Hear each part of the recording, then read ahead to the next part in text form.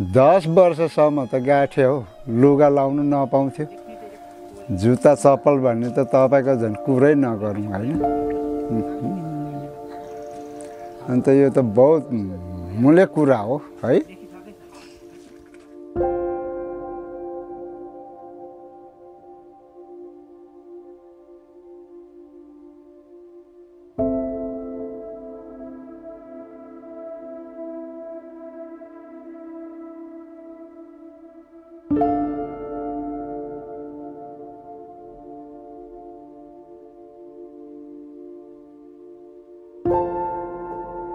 संसारमा सबैभन्दा ठुलो चिहान मान्छेको मन हो जहाँ हजारौँ सपनाको कङ्काल भेटिन्छ। दुःख कसलाई मनपर्छ र गरिबी जीवन जिउन आखिरमा कसलाई पो रहर हुन्छ र? पाको एक छाक खान अगाइन्जेल खान कसलाई मन हुँदैन र? जाडोको बेलामा न्यानो ओछ्यानभित्र पसेर मिठो सपना देख्न कसलाई मन हुँदैन र? तर परिस्थिति आखिरमा भाग्यमा जे छ ती कुरा त पुरा हुँदो रहेछ।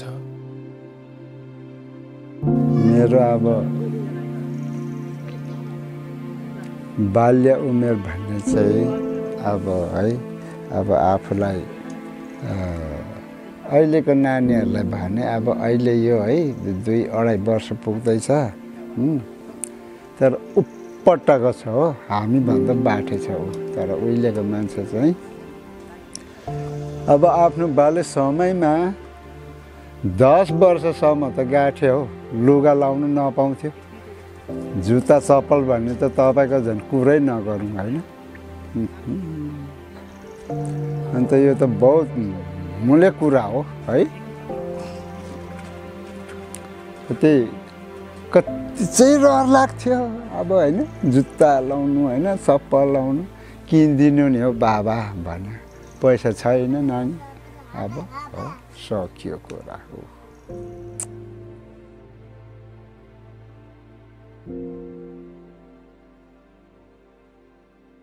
एउटा सर्टले अब अघि करेलाको झ्याल जतिकै फाटिसकेको छ चाहियो है सियो धागो नरन हो।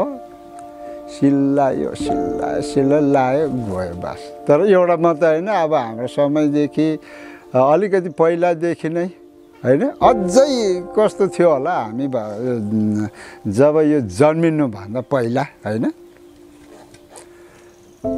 अन्त आमामा गाठे एउटा सर्ट लाउनु कस्तो मुस्किल पर्थ्यो हो? एक सुट लुगा लाएपछि तपाईँको त हो गाठे वर्ष बित्यो अब। छ महिनामा एकखेप धोइदिन्थ्यो होला। मेरो त होइन फेरि आमा पनि थिएन। टक्क एक वर्ष छ महिना पुग्दाखेरि चाहिँ मेरो आमा पनि स्वर्गे अन्त म यस्तो बिजोगसँगले बाबाले कसरी हुर्कायो होला होइन बडो दुःख थियो। परिवार एकदमै ठुलो हो। अन्त त्यस्तो बिजोगसँगले म पनि हुर्केको अनि त्यस्तै अब त्यसरी नै अरूले पनि होइन अब आफ्नो जीवनमा चाहिँ त्यसरी अब दुःखसरी अब हुर्केको छ अहिले अब होइन देखिरहेछ यो गाउँ कस्तो रहेछ के रहेछ पहिला कस्तो थियो भन्ने कुरा तपाईँहरूले प्रश्न गर्नुभयो मलाई। हिजो अन्त मैले जति अब मेरोमा यो मनमा आएको जति कुराहरू चाहिँ मैले भनिदिएँ। दुःख भन्ने त तपाईँको त भन्यो नि त होइन? आमा गाँठे भुटेको मकै नि अगाउँछ खानु नपाउँथ्यो गाँठे त्यस्तो अब आमा पनि छिटै मृत्यु हुनु आफू त्यसरी अब बाँच्नु परेको हो।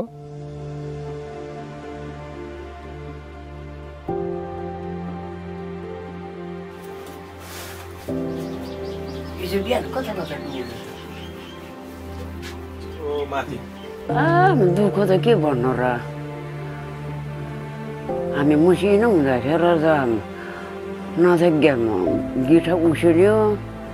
बिहाको कता कता बिहार्छ ल्यायो पोलेर खायो गिठा उसिन्यो यति यति नै मकै बोनी गरेर एक किलो पाउँथ्यो।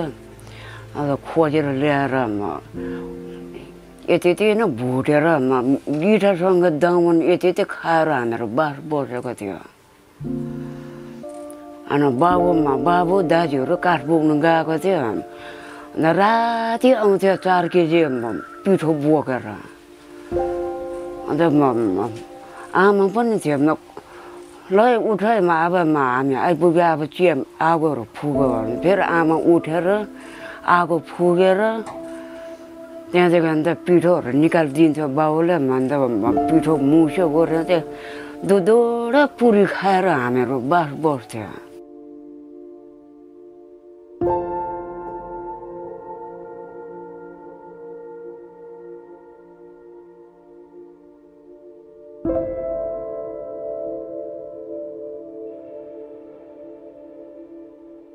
दुई केजीमा चामल पाउँथ्यो कुपन यो खालको ताँत सटक थिएन एक महिनामा अदो बोकेर रुचुङदेखि मुल्ली पुर्यायो त्यहाँ मालिकले बेच्थ्यो मालिकले बेचेर चाहिँ रो रोच डेढ रुपियाँ बिहानदेखि एक महिना अदो पुर्याएर डेढ रुपियाँ त्यतिलाई चाहिँ सौदा पुर्याएर म ल्याउनु पर्ने बर्खा मासमा म बल्ल बल्ल मकै पाकेँ त्यहाँदेखि आमाले हरियो मकै ल्यायो गएर पिएँ छोडायो पिने अन्त फ्याएको ल लसमा लस मसला पिन्नुम लोहरी भए पो। एकोरी माया म कति गरौँ दोहोरी भए पो। पन्सेरै चाना घोडालाई दाना एक मुठी कुखुरालाई सोधेछ भनी गयो है भनिदेऊ मायाको टुक्रालाई।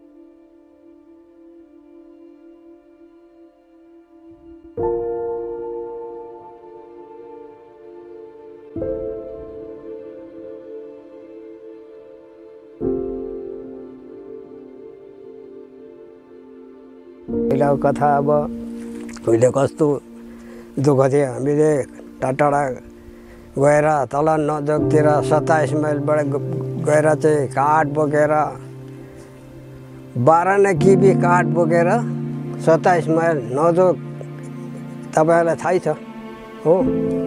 बाह्र नै किबी काठ बोकेर चाहिँ जीविका चलाएको। चामल पाउँदैन थियो कुपनमा दुई केजी एकजनाको। त्यहाँदेखि मकै किन्यो। अब घरको मकै त सकिजान्छ त्यहाँदेखि भएको कुरा उहिले हामीले दुःख कस्तो थियो साग सिस्नो गिठा भ्यागुर पनि खायौँ। हो। गिठा भ्यागुर पनि खायौँ हामीले। सिस्नो सागहरू हो नेगुरोहरू खोजेर त्यस्तो पनि खाएर काठ बोकेर कोइला बोकेर अन्त आरा काटेर पैसा बनाउनु पर्ने। खाना नखाइ हामी कतिपल्ट सुत्यौँ भने अब ए थुप्रो खाना नखाइ चाहिँ कतिपल्ट पचास साठीपल्ट चाहिँ खाना नखाइ सुत्यौँ। अब खोज्दा पनि भेट्दैन। हो जङ्गलमा गएको गेठा भ्याएको पनि भेट्दैन। अब एउटा मात्रै खोज्ने भए अब अब थुप्रै छ खोज्ने। आज मैले देखेको ठाउँमा अरू साथीले खडै लगिहाल्छ। अन्त यत्रो भेला गऱ्यो अब कोही बेला त अल्छी पनि लाग्थ्यो नि त कहिले तास्नु कहिले चाना पार्नु कहिले पकाउनु। कहिले धुनु होइन? यो अहिले तोसोक सिरोक भन्छ त्यो तोसोक सिरोक थिएन लु। बोरा हो। ओछ्याउने ओढ्ने एउटा ढु अहिले ढुसा भन्दा अब अहिलेको नानीहरूले देख्नु पनि भएको छैन हो? ढुसा भन्ने चाहिँ यसरी भुवा भएको हुन्छ। अहिले ब्ल्याङ्केट पाउँछ नि। ब्ल्याङ्केट जस्तै हुन्थ्यो। अब कोही सेतो धर्के यस्तो कोही सिरिप सेतो ढुसा ओढेर सुत्यो। त्यो पनि अब थुप्रो किन्ने पैसा छैन एउटा ढुसा ओढेर सुत्यो। ढुसा भन्थ्यो त्यो नाउँ यहाँदेखि अब पारि जानु पऱ्यो पछि जानु पऱ्यो भनेदेखि अब बाटो यस्तो यो चौचौर बाटो हो। जङ्गल यो बाटै थियो। भिर पर अब झुन्डिँदै नग्राउँदै पारी गाउँ जानुपर्ने। पारी गाउँ गएर अब के ल्याउनु छ भारी सारी के ल्याउनु छ त्यही प्रकारले अब भारी बोकिरहेछ भिरमा नग्राउँदै आउनुपर्ने घरमा बोकेर। त्यस्तो बाटो थियो। यो दुःखी जीवन रहेछ भनेर चाहिँ अनुभव मलाई यही छ। दुःखी जीवनले चाहिँ अनेक थोक अब दुःख कष्ट भोगेर बाँच्नु परेको रहेछ। अब आफ्नो अर्डर नपुगेसम्म त दुःखै गर्नुपर्ने रहेछ भनेर यस्तै मलाई चाहिँ अनुभव छ।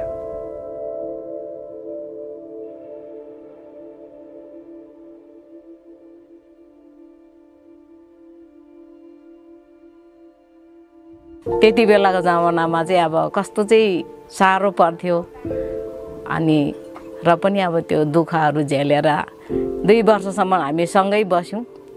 त्यहाँ दुई वर्ष पछाडि छुटेर छोड्दाखेरि चाहिँ हामी साह्रै नराम्रो हालतमा हामी छुटेको। मेरो नौ महिनाको ठुलो छोरा नौ महिनाको नानी थियो। त्यो समयमा छुटेर बस्दाखेरि चाहिँ हामी गाईको गोठमा गाईको गोठको गोबरको थलामा हामी छु सुत्यौँ दुई रात चाहिँ। अनि छुटेर बस्दाखेरि त्यस्तो हालतमा छुट्यौँ। त्यहाँदेखि बिस्तारो बिस्तारो घरहरू बनाएर अनि बिस्तारो बिस्तारो हामी अब यसो घर चलाउने आफ्नो परिवार चलाउने कामहरू गर्दै लग्यौँ दुईजना अब लोग्ने स्वास्नी मिलेर। अनि नानीहरूलाई यसो खानापिना खा खुवाउनु र आफू दुई छाक भात खानुलाई कति गाह्रो पर्थ्यो त्यो समयमा। खेताला हिँड्दाखेरि एक रुपियाँ रोज थियो। अन्त र पनि धेरै समय हामीले त्यस्तै दुःखमा बितायौँ। अब अहिले चाहिँ अब नानीहरू अलिक हुर्केर बढेर नानीहरूले आफ्नो आफ्नो परिश्रम गर्ने भयो।